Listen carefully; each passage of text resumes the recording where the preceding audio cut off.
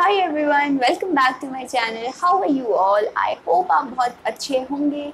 सो so, जैसे कि मेरे बोर्ड में लिखा हुआ है happy teachers day and doctor Sarvepalli Radhakrishnan के बारे में थोड़ी सी बातें करनी है। सो so, आज का टॉपिक क्या है? टीचर्स डे सो आज है क्या? 5 सितंबर 5 सितंबर is celebrated as teachers day why because आज के दिन किसका जन्म हुआ था? डॉक्टर सर्वेपल्ली राधाकृष्णन जी का। एंड वो कौन थे? उनके बारे में हम बातें करेंगे। उससे पहले थोड़ी सी बातें हम टीचर्स डे के बारे में कर लेते हैं कि हर साल टीचर्स डे मनाया जाता है स्कूल में।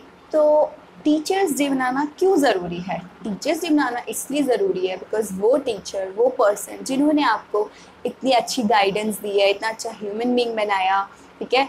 अच्छी बातें सिखाई, सिर्फ़ एजुकेशन के एजुकेशन ही नहीं, उसके अलावा भी आपको एक प्रॉपर गाइडेंस दी, कैसे एक अच्छा ह्यूमन बींग बना जाता है।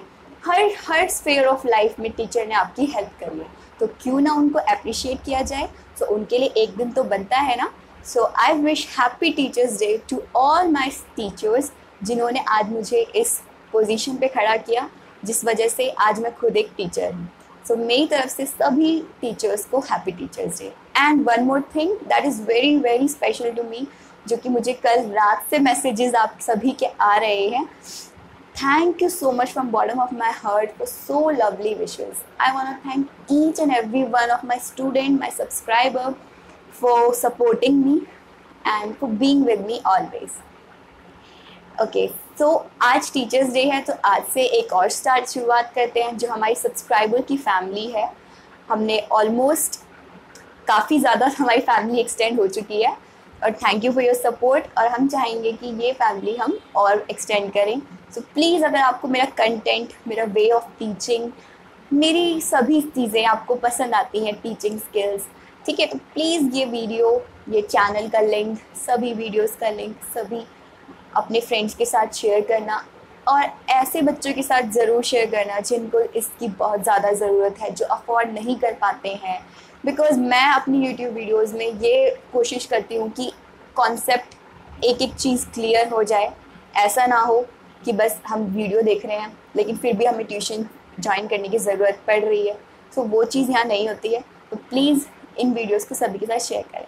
सो so, आगे बढ़ते हैं। डॉक्टर सर्वेपल्ली राधाकृष्णन जी के बारे में जानते हैं जो कि बहुत बड़े टीचर महान इंसान पॉलिटिशियन राइटर क्या कुछ नहीं थे। आई थिंक वो बेस्ट बेस्ट टीचर थे। सभी टीचर्स के लिए इंस्पिरेशन थे।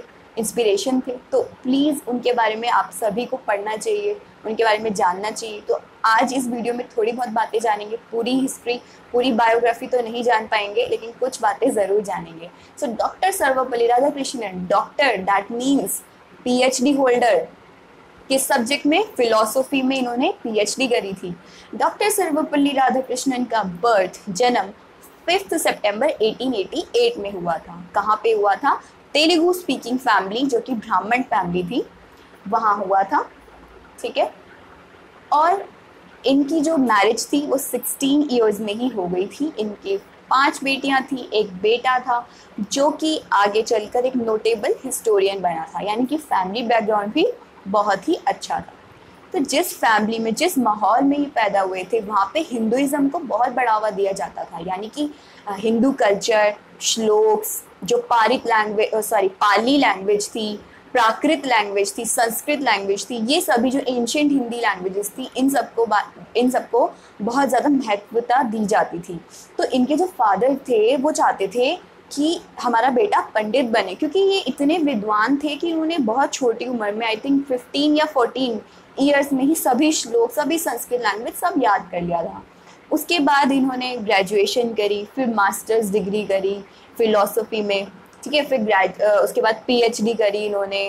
धीरे धीरे करके कभी किसी यूनिवर्सिटी के प्रोफेसर बने, कभी वाइस चांसलर कभी और लास्ट में बनारस हिंदू यूनिवर्सिटी जो कि इंडिया की सबसे बड़ी यूनिवर्सिटी है और एशिया की भी पहले नंबर वन पर आती थी। अभी थोड़ी इसकी रैंकिंग कम हो गई है, बनारस हिंदू यूनिवर्सिटी जो कि उत्तर प्रदेश में है।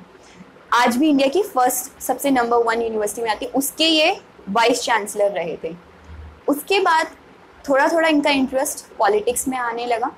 पॉलिटिक्स में एक्चुअली इनका इंटरेस्ट था नहीं, इनको लाया गया था बिकॉज़ इतने ऐसे लोगों को कौन नहीं चाहेगा।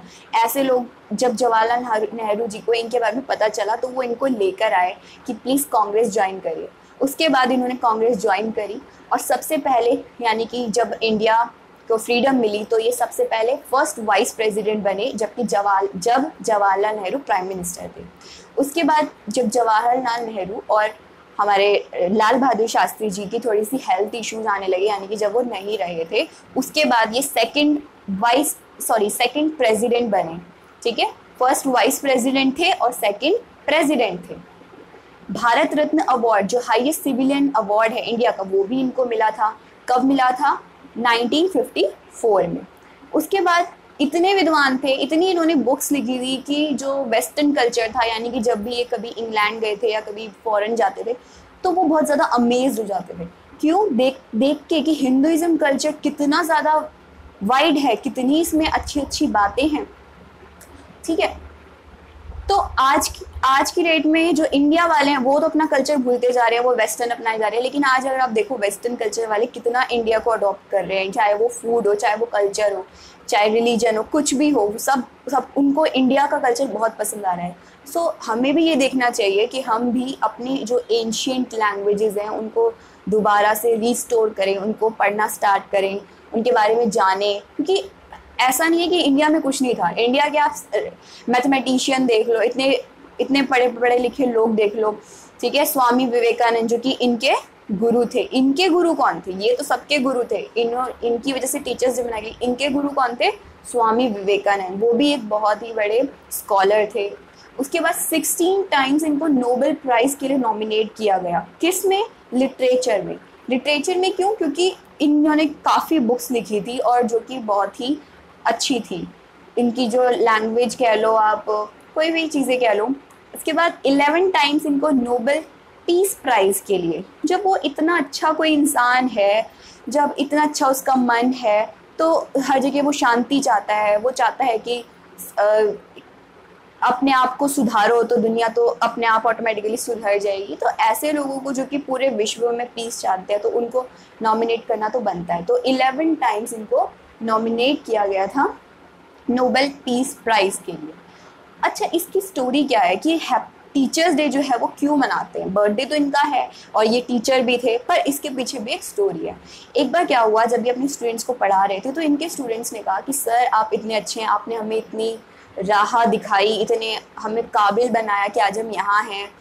तो उनके तो इसीलिए हम आपका बर्थडे सेलिब्रेट करना चाहते हैं। तो उन्होंने बोला कि नहीं, मुझे अपना बर्थडे सेलिब्रेट नहीं करवाना। अगर तुम बर्थडे सेलिब्रेट करवा, करना ही चाहते हो तो इस दिन को एक नेशनल यानी कि इंडिया में टीचर्स डे के रूप में आप सेलिब्रेट करना स्टार्ट करो। तो उस दिन से आज तक 5 सितंबर को हैप्पी टीचर्स डे यानी टीचर्स डे सेलिब्रेट किया जाता है।